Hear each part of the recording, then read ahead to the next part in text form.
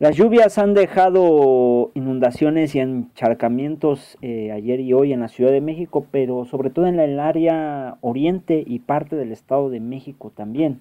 Por ejemplo, el organismo de protección civil emitió una alerta roja por lluvias en las delegaciones Iztapalapa, en el oriente y hasta en Coajimalpa del lado poniente.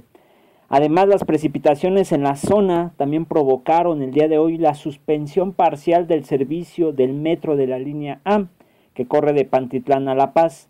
Las estaciones que fueron suspendidas fueron cinco a partir de Peñón Viejo hasta La Paz, eh, en el Estado de México. Eh, esto ocurrió entre las 4 y las 9 de la noche con precipitaciones de entre 50 y 60, 70 milímetros. Es lo que la naturaleza hace el llamado cuando hay alguna cuestión ahí inestable en esa zona, pero sobre todo por lo que está pasando en el nuevo aeropuerto. Aunque ustedes no lo crean, eso es lo que está ocasionando que haya una inestabilidad en el medio ambiente y que sobre todo llueva en lugares donde había mucha agua. Eso también puede provocar, no es broma, no es cualquier cosa, no es que la naturaleza dijo, ay, a mí se me da la gana llover ahí, pues voy a llover ahí, ¿no? No, saben dónde, a hay mantos acuíferos. Y precisamente en Iztapalapa hay suficientes mantos acuíferos que han sido explotados, pero para las industrias, para las inmobiliarias, pero no para la gente que ha vivido mucho tiempo en esa zona.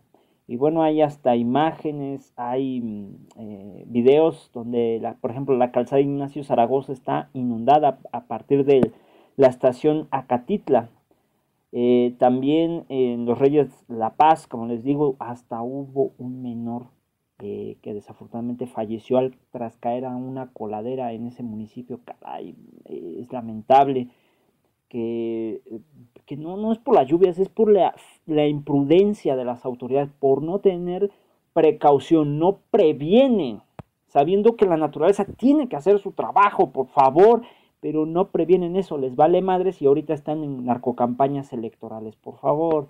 Eh, no quieren que les digamos nada, no quieren que los critiquemos, entonces pues hagan las cosas. Por ejemplo, el tránsito a la altura del puente de la Concordia pues fue un, un calvario porque llega, eh, venía desde aeropuerto, de la zona de Boulevard, eh, Boulevard Portuario, hasta el puente de la Concordia. La verdad que eh, situación tan complicada, pero fíjense que además delegaciones como Álvaro Obregón, Coyoacán, Tlalpan, también la Gustavo Madero y Magdalena Contreras se encuentran en alerta naranja y ahorita todavía sigue lloviendo. Además, la alerta amarilla está activa en Benito Juárez, Cuauhtémoc, Milpalta, Iztacalco, Tláhuac, Venustiano Carranza, Miguel Hidalgo y Xochimilco. Eh, también, por ejemplo, en la delegación Cuauhtémoc, donde pues malgobierna Narcorena y pues, también responsabilidad del desgobierno de la Ciudad de México, pues provocaron eh, que en circuito interior, en, la colonia también por ahí Cuauhtémoc, hubiera encharcamientos, en Azcapotzalco también, donde malgobierna Morena, eh, sobre la Avenida de las Culturas y Cultura Náhuatl. Además, en el Rosario también confirman que hay inundaciones y encharcamientos. Pero bueno, no les gusta que hablemos mal de sus malos gobiernos, ¿verdad? Pero esa es la realidad por no prever y además el desgobierno de la Ciudad de México también a través de Protección Civil debe de buscar la manera de que no de que se prevengan estas situaciones y por favor, no tiren basura, también no contribuyan a que les pongan de eso de pretexto para eh, eximir responsabilidades a estos cabrones. Entonces no tiren basura.